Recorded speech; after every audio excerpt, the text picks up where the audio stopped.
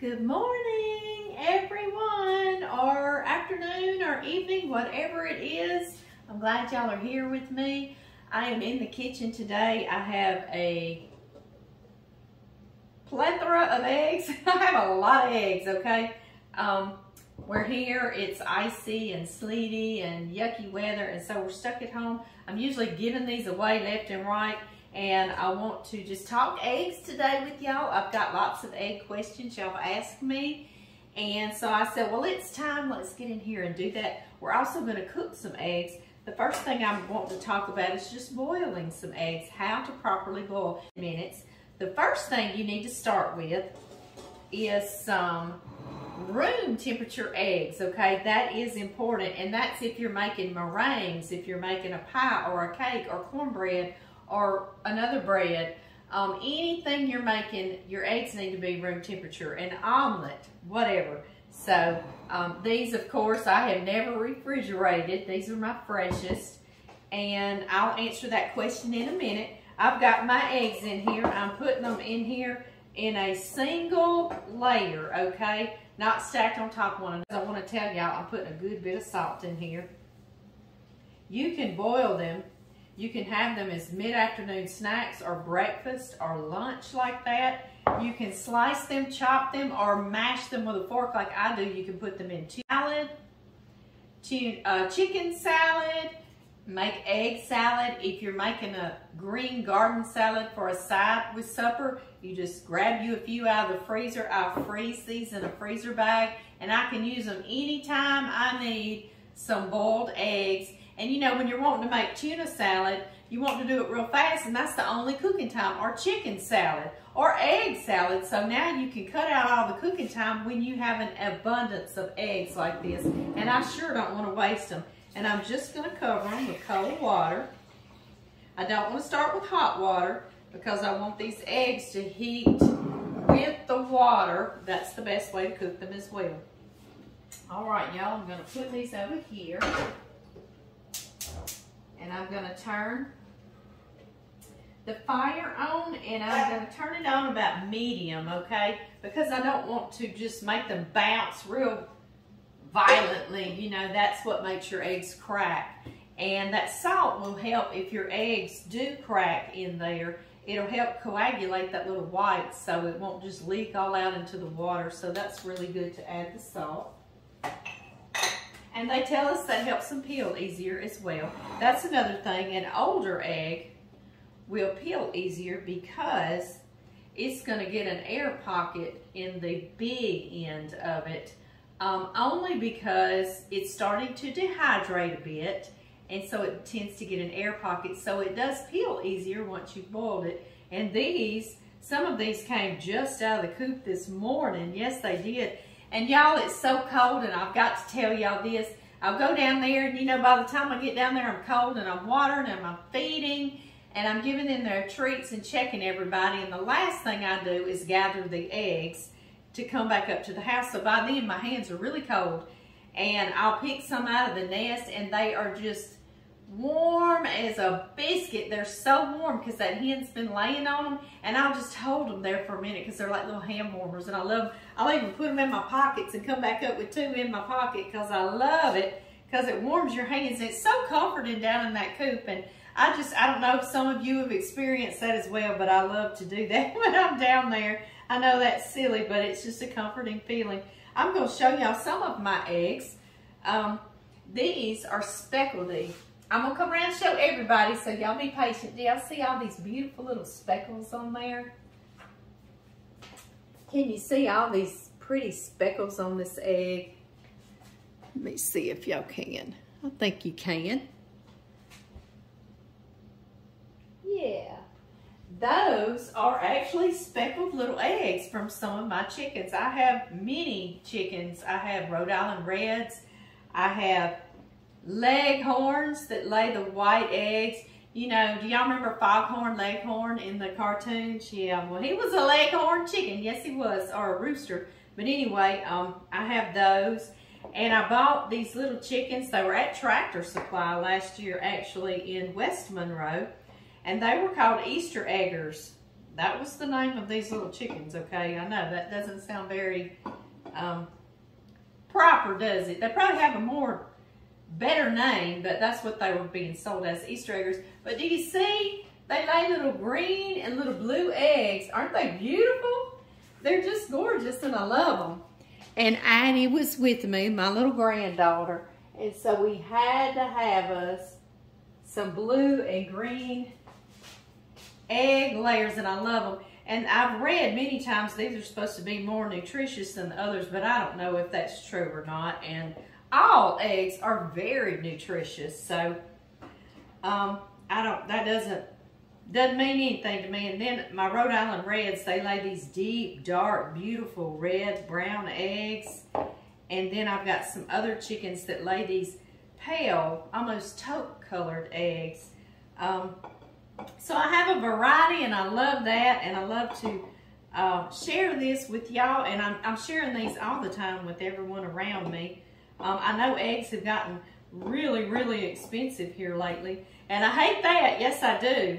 Um, I love this little olive green almost egg. Isn't that beautiful? It sure is, I know. But anyway, uh, some of the questions y'all asked me about eggs is um, the little blood spot that's in an egg. Does that mean it's fertilized? Well, it does not. Um, I've raised fertilized eggs and I've raised unfertilized eggs just because sometimes I don't have a rooster. Something happened to him. And I didn't start out years ago with a rooster at all. I just had unfertilized eggs. And you still get the little blood specks every once in a while. It might be red or it might be black or dark in color. That actually comes from the hen. She may have had a ruptured vessel when she was forming the egg. And that's just a little speck of her blood. And it hurts nothing whatsoever. I stir it in if I'm scrambling or cornbread or whatever that goes right in there. It's perfectly fine. Uh, and it is does not mean that the egg has been fertilized or not. I mean, I know you've had to get unfertilized in the store and you still will find a little speck of blood occasionally. That just comes from your little laying hen and it's no big deal and it's still safe to eat and good to eat. So that's one question. Another question many of you have had, and I've heard before, even locally, people wonder about the little white squiggly things is what they call them in the egg. Um, I've even heard people say they think that's the sperm. but no, it is not. The sperm has long since been used and it's not in the egg. And what those are is little membranes and they're attached to the yolk. And they actually hold that yolk in the center of the egg the best they can, you know. And of course, as it begins to get older, they may break down a little bit, but that's what they're for, is to keep that little yolk centered in the egg. Um, so they're perfectly good to eat too. So stir them on in and enjoy your egg. Eggs have vitamin E in them. They have iron. They are a super protein food. They have like a gold standard label here in the U.S. for protein and that is a lot. Um, I said vitamin E, right? They have omega-3s. They're good for our brains. They can help us to improve our memory, to keep our eyes seeing well. Okay, guys, my eggs have come to a boil. So let me find the lid. This is what we do because we're going to cook these correct and proper, right? We're going to cover the pot and then we're going to totally turn off the burner or your heat or your fire. And I'm gonna go set my timer for 10 minutes. And in 10 minutes, we're gonna have some hard cooked eggs, but they're gonna be just right. So I'll see y'all then. Yum! I just made this French omelet in like a minute and a half, okay, or less. And before I take a bite, I would love to show y'all how to do it. It is so easy. No cream, no water, no milk, just egg. The very first thing we need is three eggs in a bowl. And I want to talk a little bit about our skillet. It does need to be non-stick, okay? You don't want to try to make an omelet without a non-stick skillet. You just do not. And I don't typically cook in non-stick skillets, but for an omelet, This is my omelet pan. Your pan also needs to be somewhere between seven and a half, eight inches. If you cannot find one that small, you see like my hand is about how big it is, then you can, maybe like nine or 10, but you really, this is the perfect size pan right here. This one is like uh, seven and a half inches. Um, so anyway, and I'm measuring here to here is what I'm measuring. Okay. To make a French omelet, you start with about a tablespoon of butter. And I say about because the French, if they say about a tablespoon, they really mean about two tablespoons. and that sounds good to me. And we actually let this butter cook pretty good in the pan. We're going to try to let you see all that foam. We want that to kind of cook out of there. If you have clarified butter on hand and you had time to do that, that would be even better.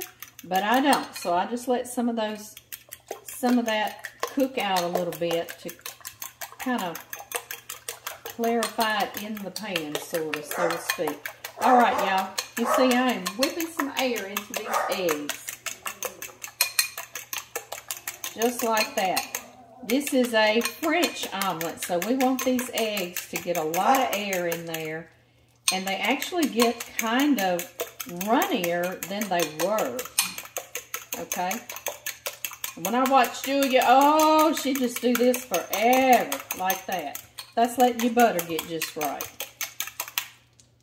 Okay, no water, no cream, no milk, just eggs, okay? Y'all see this pan? All right. In they go.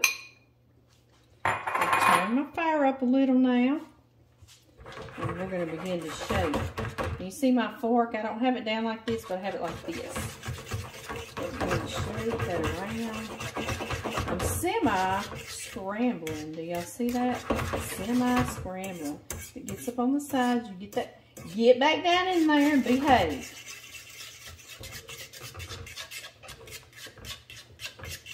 This goes fairly quickly.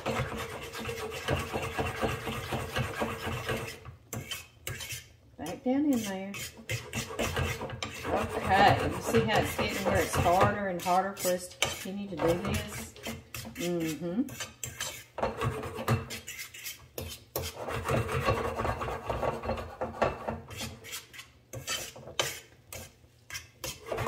All right, a French omelet's very creamy in the middle and very good. Something I need to do before we get finished is I need to add some salt and some pepper. And now I need to get this down here. Start rolling down toward the end just like this. And flipping this side up.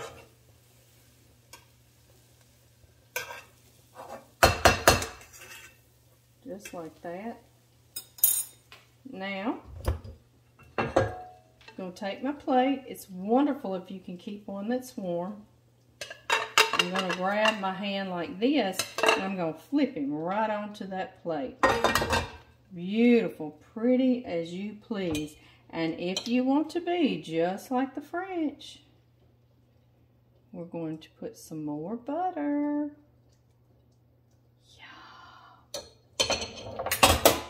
And there we have it, a French omelet. Let me show y'all the middle of it. Oh my goodness. I gotta have a bite. I gotta have a bite. You know who I learned this from? The very first person I ever watched. I was that little girl that didn't worry about the cartoons in the morning.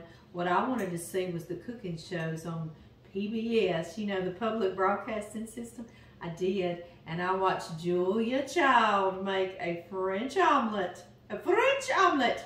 And I thought, I've got to do that. And it looked fun is what she made it look. Let me come give y'all a bite. Mm. Mm, mm,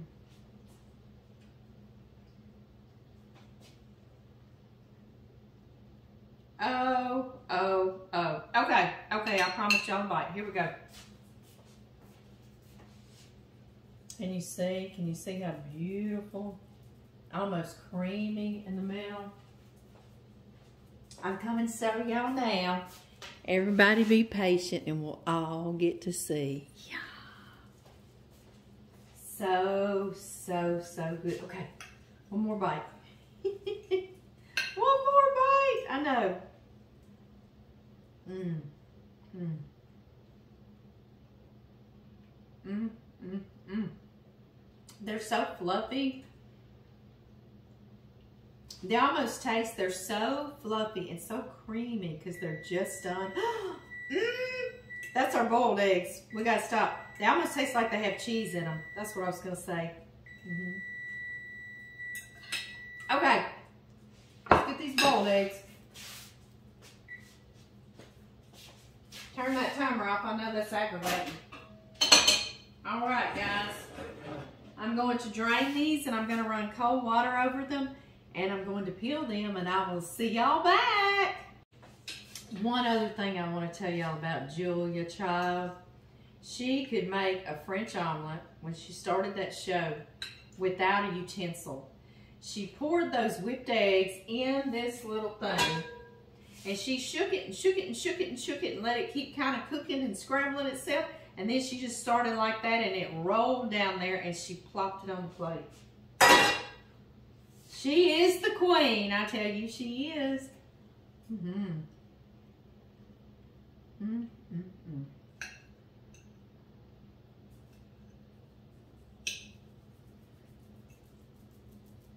I was going to make some toast, but I don't want to stop long enough. Don't lose your patience trying to peel a fresh egg because that little membrane, it's not going to have a good pocket in there on this thicker end. So I just I just crack my egg a little bit on the end and I try very hard just to prick into that membrane and get some of it. Once I get under it, like I just did, then you can go to town. And it will leave the egg white because we've got that membrane with us, with the shell. That's all you need. Pretty as you please. Let's see, guys. I'm trying to think all the questions I have had about eggs. Another thing is, do I wash my eggs? And I do not wash my eggs because when an egg is laid, it is covered in a bloom, B-L-O-O-M. We cannot see it, but it's a film on there. And it actually is sealing that egg and protecting it from bacteria. Yeah, outside bacteria. So I do not wash them and they will last longer if you do not wash them, of course. And the store-bought eggs, I believe they have been washed um, because people want clean, beautiful, pretty eggs, you know.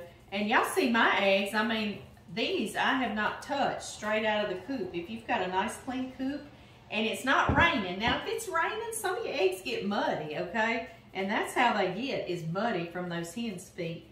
But um, most of them are beautiful, just like that. All the time. You just get a few every once in a while. Um, so yes, I do not wash my eggs. They last longer. Do I refrigerate my eggs? Uh, like these, I know I'm going to use in a period of time. I love room temp eggs because you can use them right there immediately.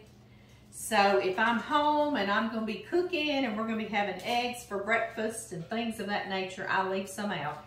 They will stay good for about three weeks on my counter. And everybody's homes are going to be a certain degrees different. You know, if it's the middle of the summer and you're not air conditioned, then you may want to just slide them on into the refrigerator. So that just depends. But a few weeks, two or three weeks, you're pretty good right here on the counter. And we do that all the time. Um, the rest of them uh, that I need to give away or I want to give away, I do go on and refrigerate them unless it's someone I know and they come by and get them and they don't want them refrigerated. You know, that's usually someone that's older and grew up eating non-refrigerated eggs. And if you put these in the refrigerator, they will last anywhere from four to six months. Okay, guys, I had just put these eggs on this paper towel because I was dipping them back down in that water and they were getting kind of wet and I didn't want a lot of water in our thing. Let me get a fork.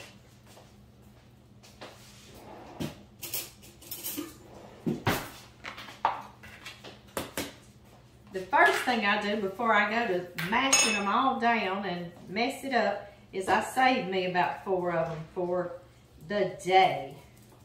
And I want to take a bite so badly right now. Y'all ready?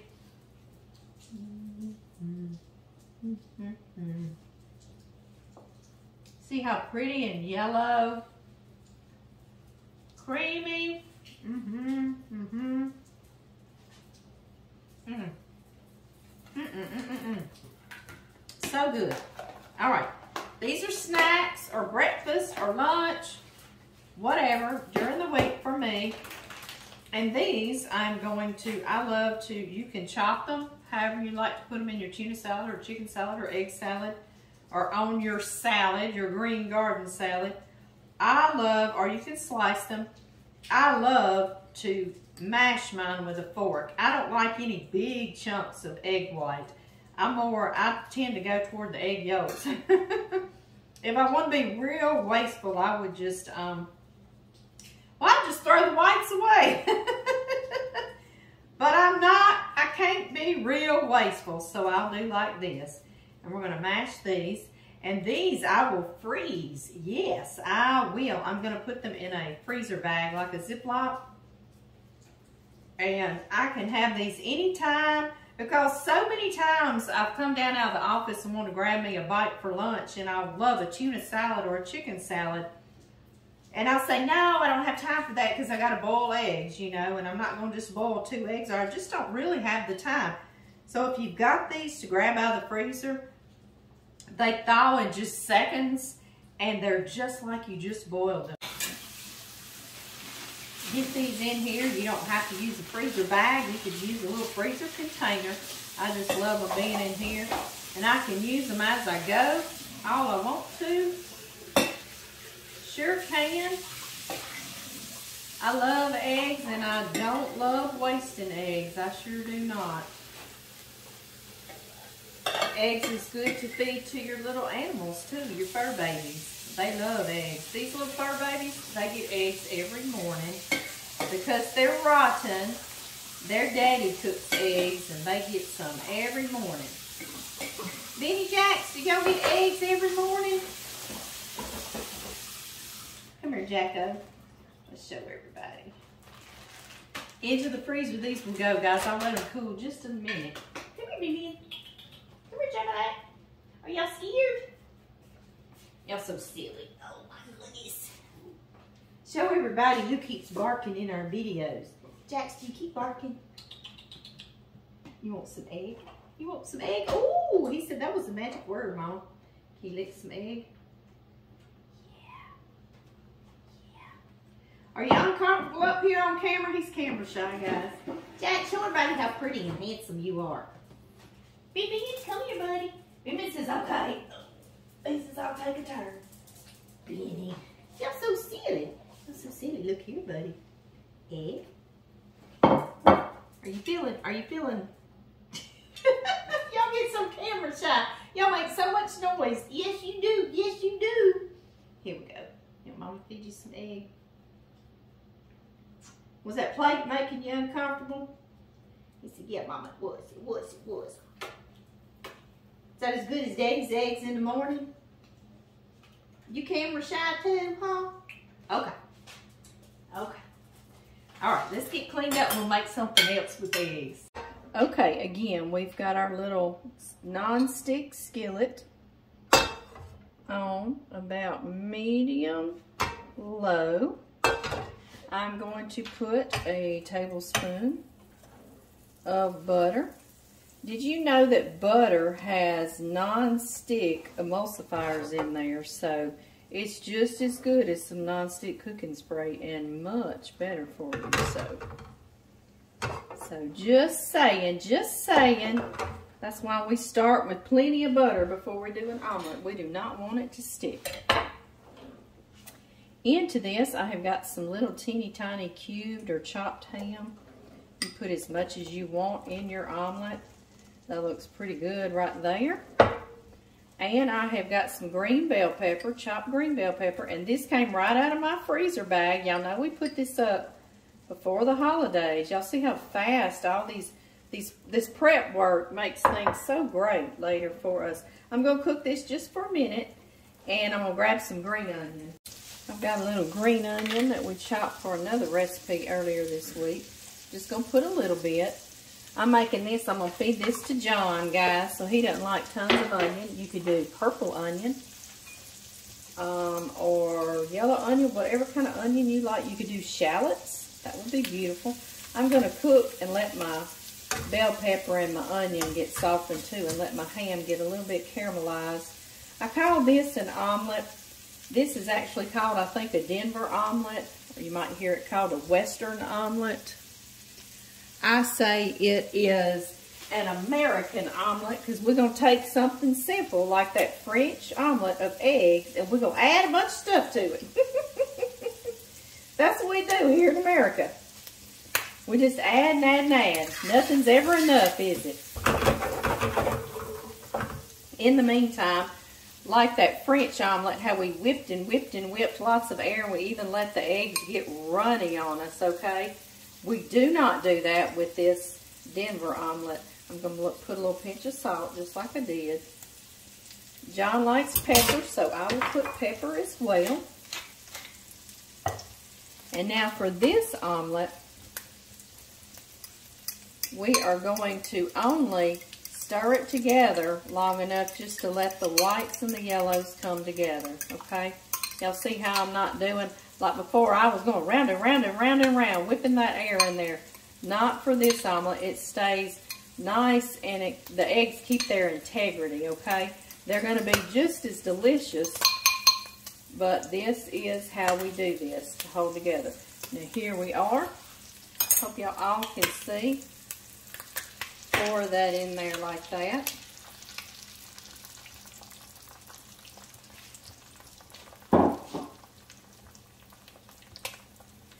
I've got my fire down here on medium low, okay? Now that French omelet stayed very pale, very pale on the uh, underneath. You know, you saw it was yellow when we brought it out. This Western omelet, Denver omelet, American omelet, it is going to get a little bit caramelized on the outside because we're not going to move it around as much. We let it just cook just like this. If you want to put a little Louisiana spin on this thing, cayenne, yeah, cayenne pepper. Just a teeny tiny sprinkle. Just to liven it back up. Or liven it, right? Starting to get set. It smells so good. These are typically served more for lunch or dinner than breakfast. But if you want this for breakfast with some onions and some bell peppers, you go for it. I also like to put a lid, try to get some of that steam to come back down and cook.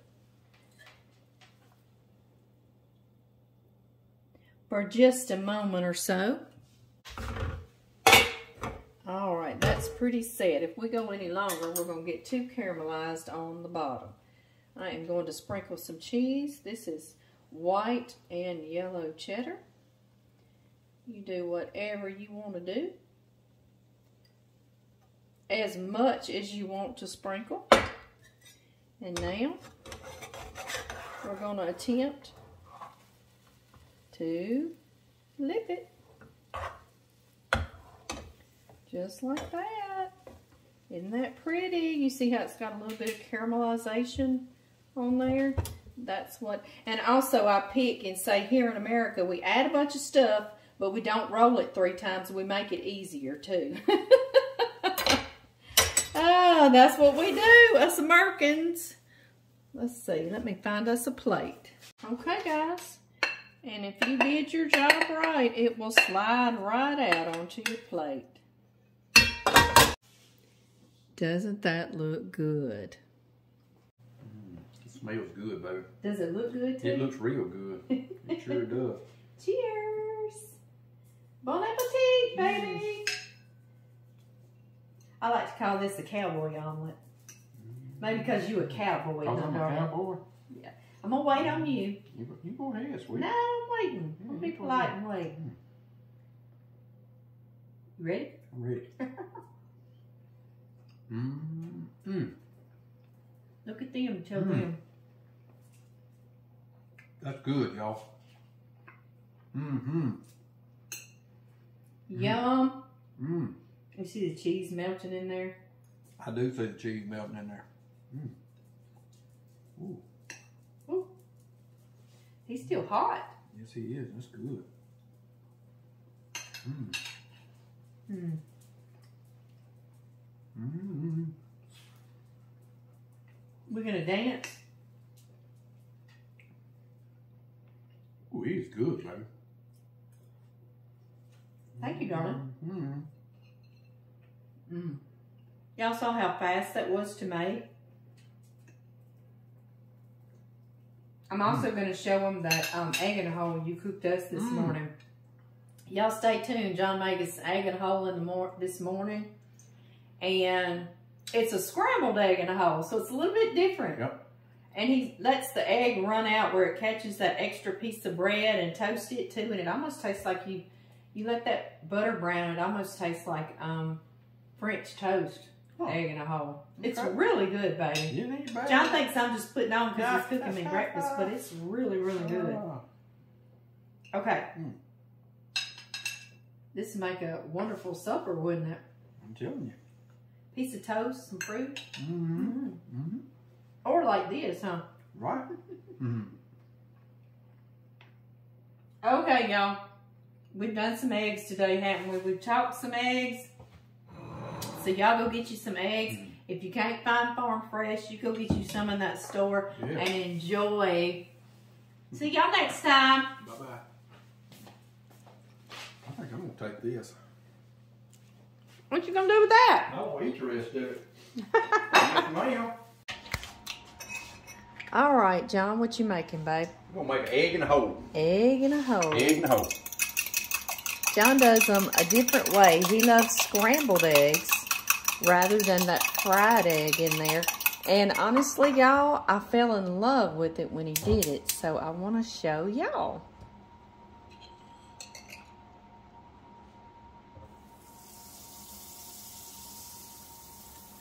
Butter.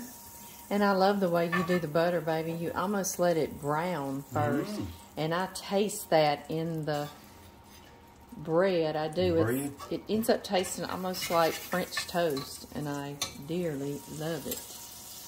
I'm gonna take a seat.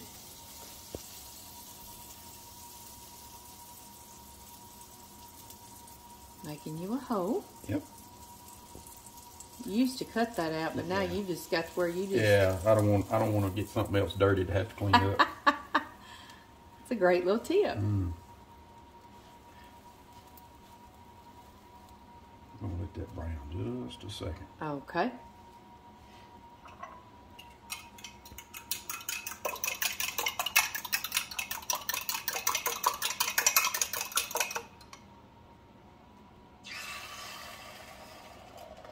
Love how you pour that scrambled egg all around and you make it where even the top of that hole you cut out sticks to the bread. That's so Yep. cool. I love it.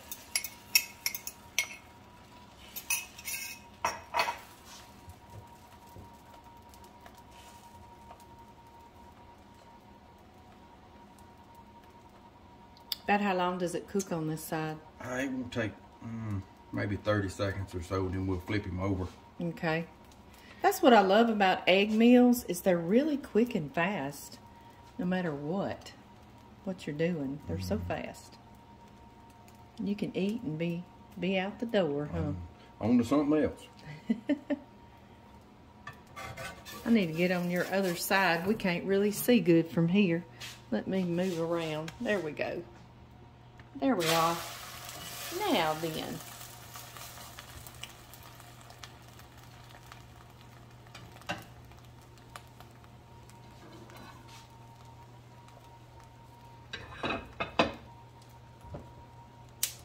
And a warm plate's very important with any egg dish. Warm your plate. And be very careful because it could shatter on you the will, stove. You will break it. well, it don't take just a minute to warm it up. You just keep feeling. Mm-hmm. If you've got an oven on warm, it's perfect for that. Sometimes you do in the oven, don't you? I do. Oh, and it's ready! It's ready. Yay! It's ready. There it is. And it's so good, y'all. That butter browns. And you see how that scrambled egg, it even encapsulated the piece of bread he took out. It's so very good. Enjoy.